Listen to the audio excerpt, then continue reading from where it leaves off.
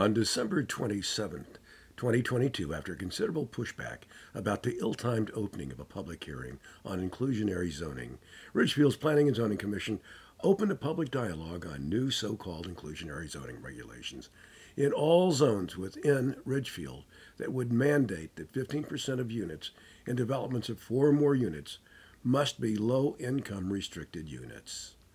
Thanks to Ridgefielders who took time from their holidays to email the Commission, including John Tartaglia, who included business analysis, Dr. Mary Flynn McGuire, Charlie Irwin, Theresa Cohart, yours truly, Kirk Carr, Chris Cohart, Richard Larson, Linda Lavelle, Tim Belinskas, and First Selectman Rudy Marconi. A dedicated public hearing has been scheduled for January 25th. Please mark your calendar and plan to attend either in person or via Zoom. Chair Hendrick explains the inconvenient opening two days after Christmas this way. Uh, in quick summary, the, and the bottom line of these was asking us to uh, continue the public hearing or, or postpone the public hearing uh, to January uh, to be past the holidays. Our intention was to open it, open the public hearing today because we have a regular meeting today and our intention is to keep the public hearing open into January. And we certainly anticipated that because of the holidays, it would be, and also because of the complexity of the topic, that uh, we we absolutely intend as a commission to keep the public hearing open. But we we also we thought it was important to open the public hearing uh, because opening the public hearing legally allows us to actually begin a dialogue. But if scheduling this on December 27th didn't inconvenience the public enough, then Chairman Hendrick did this. Um, I'd like to ask unanimous consent of the members present to actually um, actually actually reverse order of the public hearings. So we take 3.1.3 on the agenda and put that first. I'll ask for unanimous consent to uh, to reverse the order of the public hearings. Is there any opposed? All right, without any objection, we'll just, we'll just reverse and I'll proceed first to item 3.1.3.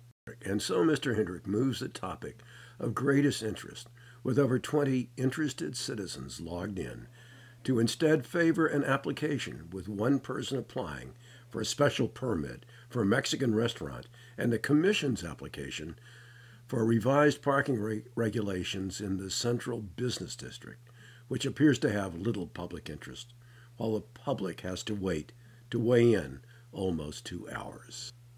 All right, next item, which uh, I think was the, probably the one that did have uh, a lot of interest tonight. Uh, item 3.1.1. This is uh, application A-22-5. A-22-5 is um, a regulation amendment uh, regarding inclusionary zoning. This regulation has been uh, initiated by the commission. Okay, so uh, open the public hearing at eight sixteen PM. We'll let, we'll do a commission presentation real quick first. And we've done this conversation in August and September and October already, so I'll try to do it quickly to spare the commissioners. I'll, I'll spend, I'll try to do it in five or seven minutes, kind of a quick run through of this presentation, which again, commissioners have gone through before. Mr. Hendrick promises to be brief in deference to the Commission, not the public, and then instead of five to seven minutes, takes 23 minutes to basically say just this. Okay, so we have our regulation is kind of relatively simple, really.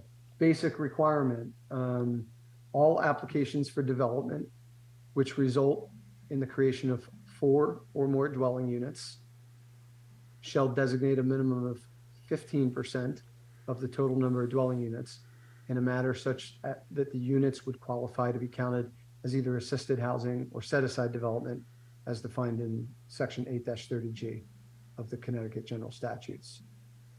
So, two hours after the public hearing is open and its order reversed, and the chairman filibusters with a needlessly lengthy presentation, the public starts to burst their bubble. Hi, my name's Tracy O'Connor. I live at 59 Prospect Street. Um, and I, I have a question about two questions, but this one, you, you're talking about inclusionary zoning. Um, is there a reason that it doesn't um, include ADA accessible uh, uh, uh, in any of these? Is that part of the inclusionary piece or not? Like, shouldn't units have one ADA accessible or elderly accessible? Good, good question. Um, I'm, uh, I want to make sure I get pulled to the right language just so that, uh, we answer the I question. believe it's a building requirement, is it not? That's Yeah, what I was- so- Part of the number- building requirement. the eight thirty G statute, Alice, you can help me along the way as I kind of ad lib. I'm trying to get the right term, but Yeah, I'm not one hundred percent sure. Well, that was my question. Uh, shouldn't high density or housing include those members of the public um, as well as affordable? That was my question. I just uh, briefly, uh, uh, I'm sure you read the two letters and the number of letters. Your public notice uh, refers generally to a text you've referred to tonight as uh, this is a conversation, this is a rough draft. I think the uh, uh, item under the uh, uh, filing is called a rough draft. I'm not understanding exactly what your public hearing is encompassing.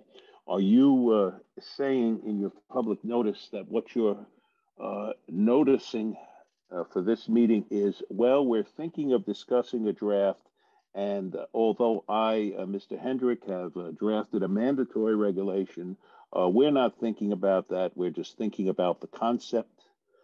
Precisely what was your public notice on?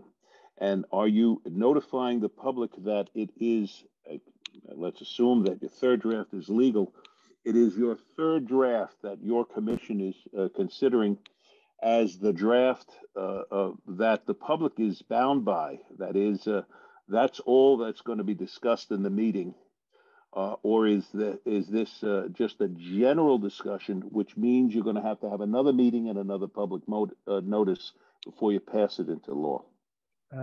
i- if, if that's, uh, if that's the end of the question, uh, simple answer is that our notice is, uh, is inclusive of the entire file, which is on, which is on view per, viewpoint cloud. It's uh it's actually refer- referenced on the public notice. And yes, the third draft of the regulation itself, which I've just gone through and presented in the meeting, that is the draft which we're proposing. Since this is a friendly uh, a- amendment, it's commission initiated, uh, we could certainly discuss changes uh, and edits to that draft. And we expect, frankly, Mr. Tartaglia, uh, over a couple of meetings to make some minor changes. We, we had been discussing it, uh, as I mentioned earlier in the meeting, we've been discussing this in some drafts. We got to a point in a draft where we felt that the draft was uh, near finished, uh, in our opinion, or, or definitely getting close. And we want, it was time for wider input. So we're taking wider input on the, on the third draft. You keep, uh, and all of the members of this commission seem to uh, be saying, well, we're doing what's good for Ridgefield. I haven't heard one item of evidence, one evidentiary submission, one economic analysis, one uh, actual factual uh, uh, discussion about this town, its needs, its specific needs, specific parcels that you intend to be speaking of, or anything else of specificity sufficient for me to respond, except to indicate that uh, uh, I think you're generally uh, going in the wrong direction with uh, essentially mandating uh, the control of a means of production, uh, which is everybody in Ridgefield's uh, essential wealth, uh, except uh, for perhaps 30 people, is maybe 50, is essentially real estate, what they own, their homes or related. I think that you're uh, taking control and mandating a means of production. I'm not uh, at all understanding how you're doing that in the residential zones, A, double A, or triple A. I, I'm not understanding how uh, your proposed zone somehow extends to every zone in the town, especially the majority, I guess it's about 60, 70%, maybe more, that are single family residential. Uh, and if they're not affected by your regulation, I'm not at all satisfied in any presentation that You've not included that in your uh, mandate. And uh, quite frankly, your mandate seems to be creating or limiting property rights of people. And I'm not understanding how you're having the power uh, to do that, especially in light of a fee that, as near as I calculated, was about $425,000 uh, dollars uh, per unit. I, I, am not quite understanding it. Uh, perhaps I didn't understand your wording. I did provide detailed commentary on it. I did provide uh, specific questions. Uh, you don't seem to have addressed any of them, and it's your prerogative. Uh, but uh, I, I, submit by uh, uh, your lack of specificity, Mr. Hendrick, and your, I, in my opinion, not a, a, really thorough or fair presentation of what you're intending to do. I think you've deceived the public, and I, I think you haven't properly uh, uh, set forth precisely uh, what the level of control you're proposing within a planning and zoning commission. I, I don't think you've uh, thought it out well, and I ask you very strongly to uh, really reconsider the mandatory uh, aspect of that and shut away from it. I think it's a mistake. I, I understand you may have all good intentions, but I the reasons why uh, this presentation is woefully lacking. Uh, but at the moment, uh, my uh, uh, biggest objection is uh, you don't have the power to to change the property rights of the people of the town. That's it. Thank you.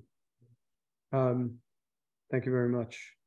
Your points are all um, are all heard.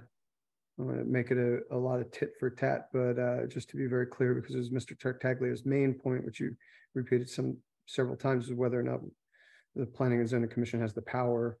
The Planning and Zoning Commission is specifically enabled, uh, specifically empowered uh, to do exactly what we're doing here uh, under Section 8-2I of the Connecticut General Statutes. In fact, we're mandated to do it yeah, by uh, the state. That's that's a that's actually I was getting to that next. We we're we're uh, we're allowed, permitted, uh, enabled, empowered, whatever word you want to use. We're empowered to enact inclusionary zoning regulations by 8-2I. We are separately, as Mr. Katz is about to say, we separately have a state mandate, whether or not we like it as a as a town, whether or not any individual likes it, we have a mandate to progress, to make progress uh, in the direction of affordable housing, of increasing affordable housing in our community. We are mandated to do that under several other sections of the Connecticut General Statutes, including 8 30J, not G. J is the section that actually requires us to have an affordable housing plan, uh, which I know we've had a lot of conversation as a community over the last year about that creating the plan.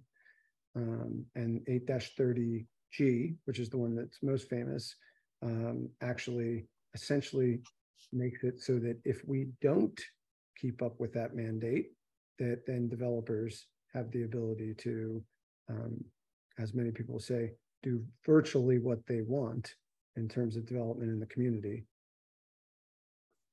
This is Mary Flynn McGuire. I there you are. Go ahead, Ms. McGuire.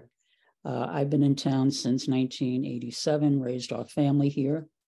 And um, the point of my email, when you mentioned, Mr. Hendrick, that you've been discussing this since September, October, November, I don't know how I would have known that, whatever. So I honestly don't know how the public, uh, like me, should have been informed. Um, so the point of my email to you all, first point was that this uh, discussion be held later, away from the holiday season, away from Christmas, away from Hanukkah, away from families not even being here in town. So, unfortunately, we were the third topic to be discussed, and you gave a very good explanation and background, Mr. Hendrick, because I truly knew very little about this. Um, but that was about an hour and 20 minutes ago. So, if this were to go the way I had intended, it, this was not going to be continued, but what you so eloquently discussed or, or informed us would have occurred at the next meeting. So everybody could be hearing it. So I'd hate to say to you, please repeat it. But if I had not heard that tonight, I would be, you know, not have the knowledge I now have. So that was one thing. I did not intend, I was not requesting that this be continued. I was requesting that it be moved to a convenient date in January, February, whenever. Um, the other was that it not be in Zoom. This is just so impersonal. You can't even see me. I can see you all. Um, and of course, if we got a really good turnout, because if everybody really knew what was being discussed, I have a feeling you'd have more than 23 public members or whatever I saw up there before. Um, so Zoom, to, and I do Zoom for many meetings, but Zoom for this very important meeting to me is not really appropriate. And then my very last point that I had mentioned was uh, please make sure you do not vote tonight. And it seems that you're not, and I appreciate you hearing that. Um, but I, I strongly feel it needs to be later. It needs to be in a public forum, face to face, and um, let us continue the discussion. So maybe I could ask just one question and I will be done. How would I have known about all of this if I wasn't quote unquote hanging out on the town website? Uh, you, you wouldn't, uh, Ms. Flynn, actually that's, I, I know, you know, um, I know you have a different viewpoint on it, but, um, we had some discussion about this when we scheduled it and, um, we, we believe that it was important to, to, to, to begin the public hearing specifically so that we could make this notice so that people could start to pay attention. Because otherwise we'd have to wait and do public notice Okay. holidays. And public notice, by the way, has to be done several weeks before the actual hearing. So we did public notice number of weeks ago. So it's, it's a quite a long process. And we decided it was better to put the community on alert early and have the conversation, which definitely will last more than one meeting. But we thought it was better to start early rather than to continue and delay and, and push the can down the road and not have the conversations. We elected to, to put. Sure. No, I, I appreciate that. But how would I know, how would I know about the public notice? Do I have to subscribe to the Ridgefield Press in order to know about the public notice? Or do emails, and I'm, I sincerely mean that, do emails go out from Rudy Marconi stating that these are the public notices?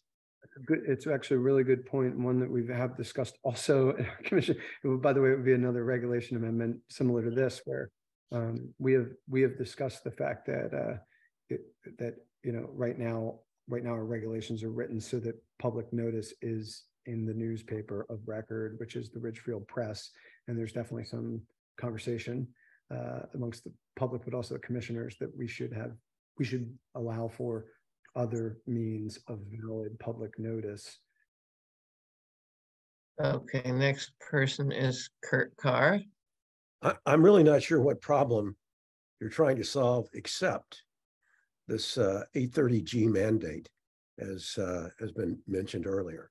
If there was no 830G, what problem would you be solving? Uh, You would, there is no problem to solve. Ridgefield has about 9,000 households. 2% of our population is in poverty.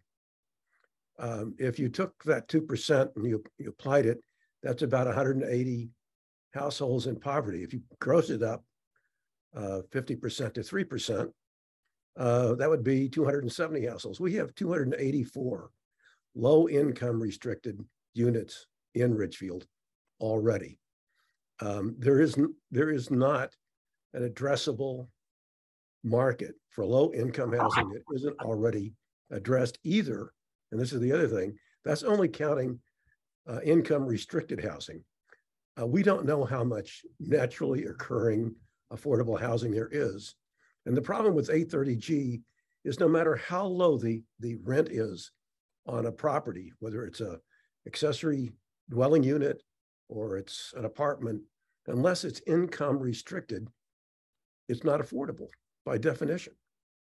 Um, and so you're rushing down this path to create a lot more inclusionary or low income restricted housing. Um, and I listened to your presentation last time, and this is modeled after Darien.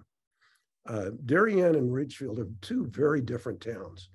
The uh, Darien is in the last 10 years has grown twice as fast. as Ridgefield. It's projected to grow another 10% over the next 20 years, while Ridgefield is expected, is, is projected to actually decline in population. So the needs are very, very different. I don't know whether any of you looked at the video that I sent in that had a tour of the inclusionary zoning in uh, Darien, but it should scare you. I know that it, I think the people in Darien have been very surprised about how that has materialized. And I don't think there's anybody on the Planning and Zoning Commission who would want to see that kind of development in Ridgefield. Um, the, their planning and zoning, uh, their inclusionary zoning, as I understand it, is an overlay zone.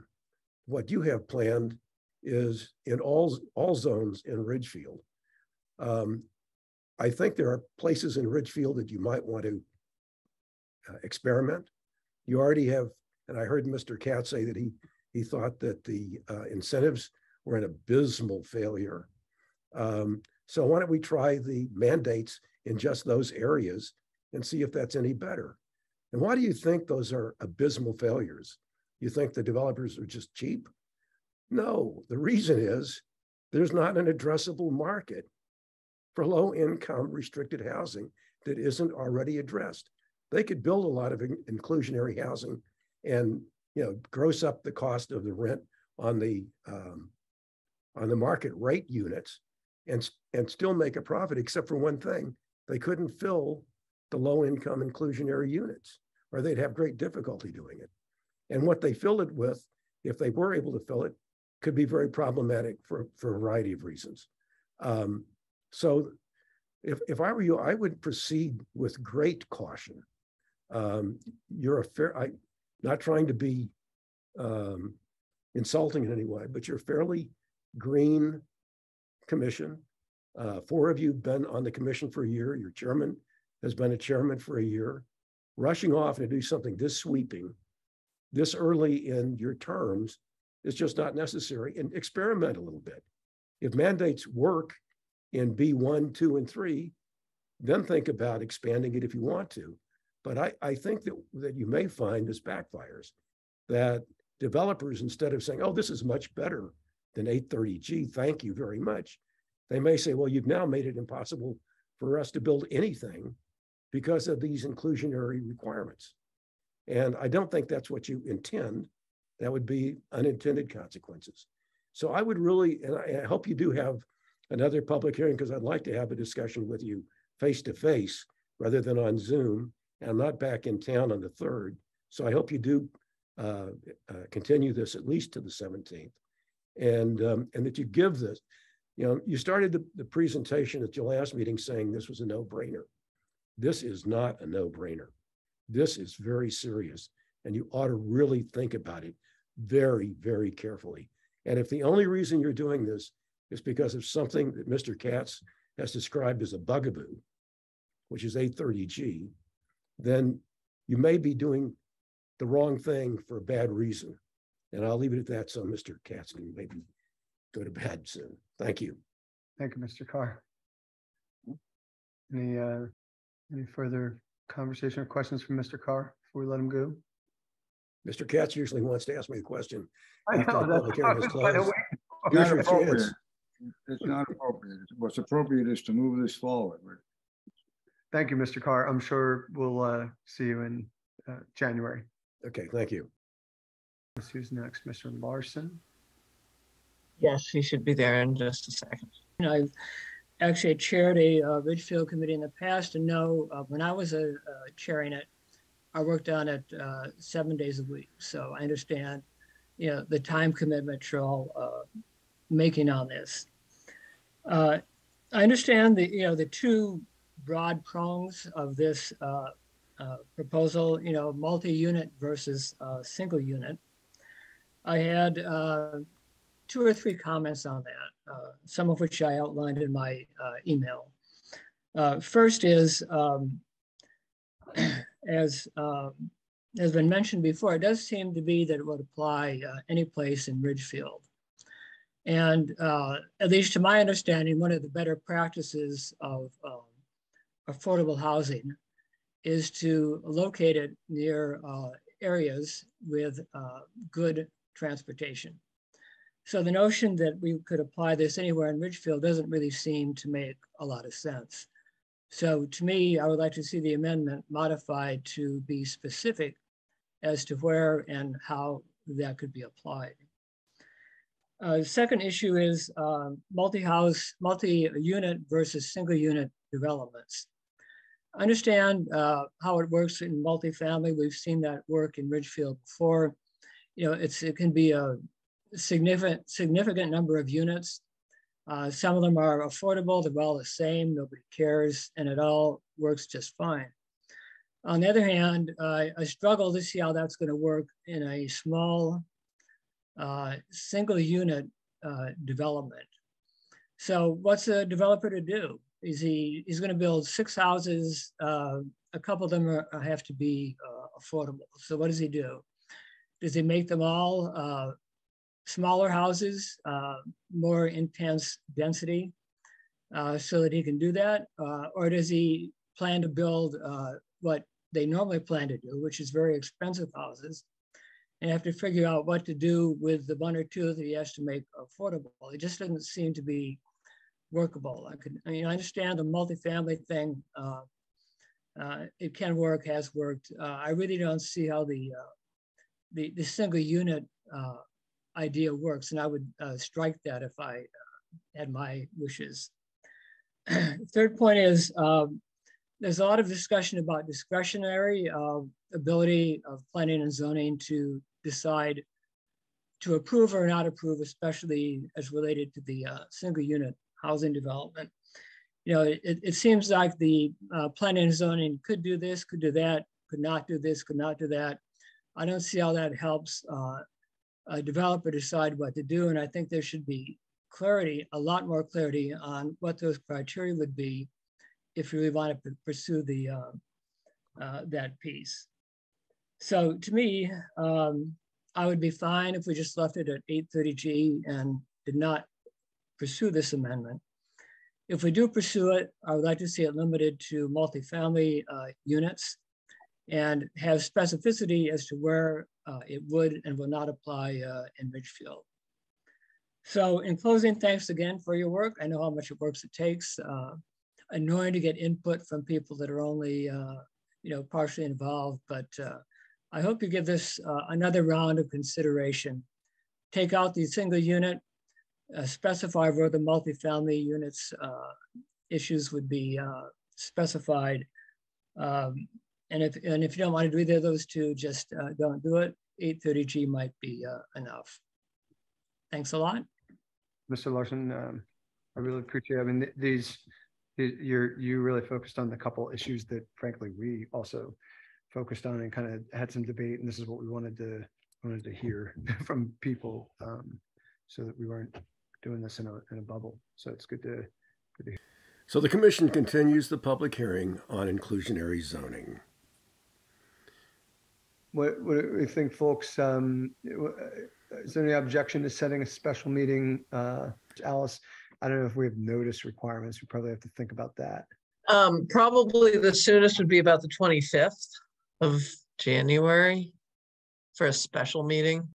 A month is about the time needed to do the two notices. So we will continue this meet, this public hearing um, at a date, at a special meeting, date to be determined. Please mark your calendar for the next public hearing on inclusionary zoning that will be in person and face to face on Wednesday, January 25th. Come and share your thoughts on new mandatory inclusionary zoning regulations now proposed for all zones within Ridgefield, including the neighborhood where you and your family lives. What should planning and zoning consider before revising its existing inclusionary zoning incentives in zones B1, B2, and B3, and instead mandating 15% 830G qualified low income restricted units in all residential developments of four or more units, both single and multi-family developments in all zones within Ridgefield, following the Darien model. If the addressable market for such units is already saturated, mandates could backfire and stunt the development of all market rate housing in Ridgefield, including unrestricted, naturally occurring affordable units.